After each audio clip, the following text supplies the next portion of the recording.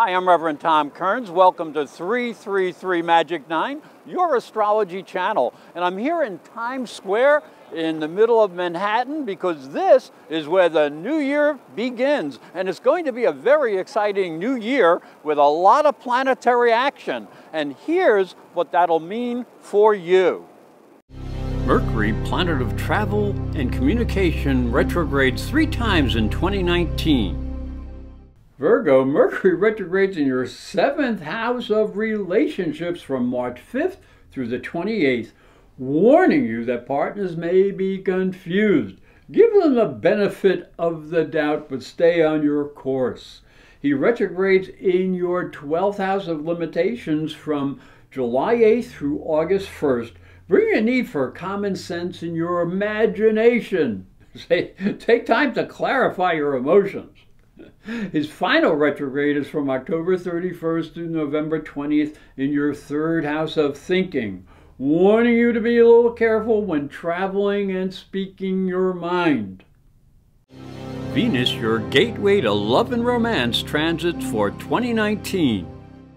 Virgo, Venus transiting your fifth house asks you to share creative ideas, and there can be some romantic possibilities through that in February. When she's transiting your ninth house, she can bring mind and matter together, and that is from May 16th through June 10th. So let your ambitions roam. When Venus transits your first house, she brings sparkle to your personality, and that's from August 22nd through September 14th. She's in your sign. And a second chance for love comes back from November 27th through December 20th, just in time for the holidays. But be careful with unusual ideas and the way you speak in mid May when Venus conjuncts erratic Uranus. Mars, planet of action and desire transits for 2019. Virgo, Mars inspires you to expand your knowledge from January 1st through February 15th.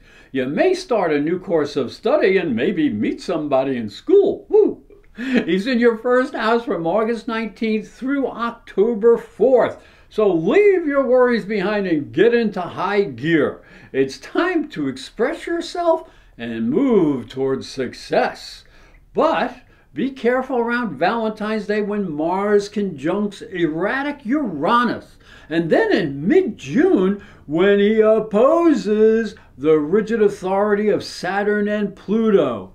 Maintain your flexibility. Jupiter, planet of bounty and justice, transits for 2019. Virgo, Jupiter transits your fourth house of foundations all year. Now, you might want to seek comfort in your castle, but you may find busyness instead. You could buy or sell a house or move because you got a new opportunity.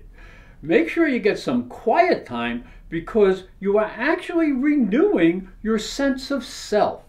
When Jupiter retrogrades from April 10th through August 11th, he suggests that you reevaluate your emotional foundation needs. Saturn, planet of karma, transits for 2019. Virgo, Saturn transiting Capricorn in your fifth house of pleasure all year asks you to focus on personal expression, romance, and creative activities. Do you find enjoyment and fulfillment in your life or frustration? Do the children of your body or of your mind reflect your values. This is an intense time that can show you the truth. When Saturn retrogrades from April 29th through September 18th, he tells you to control your indulgences.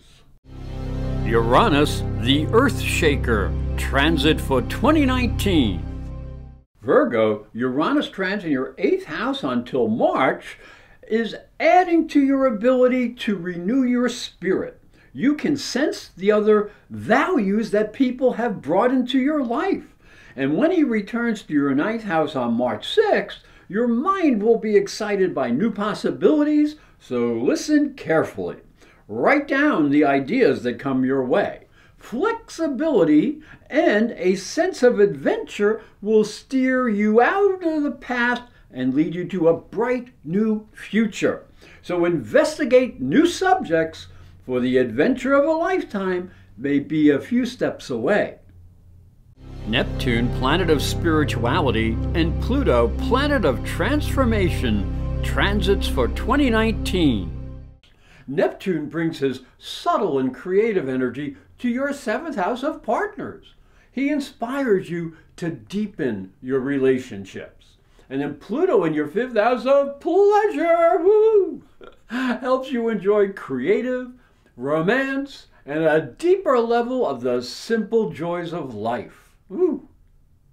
Now these were just general predictions based on your sun sign. If you'd like more accurate predictions based on your time, date, and place of birth, just go to my website, professorastrology.com, and there you'll go to the personal services page and you can order a transit chart which will tell you what's coming for you for the next 12 months. I'd like to thank you for watching. I'd like to thank you for listening. Please share these videos with your friends because they're free. And I hope you have a fabulous new year.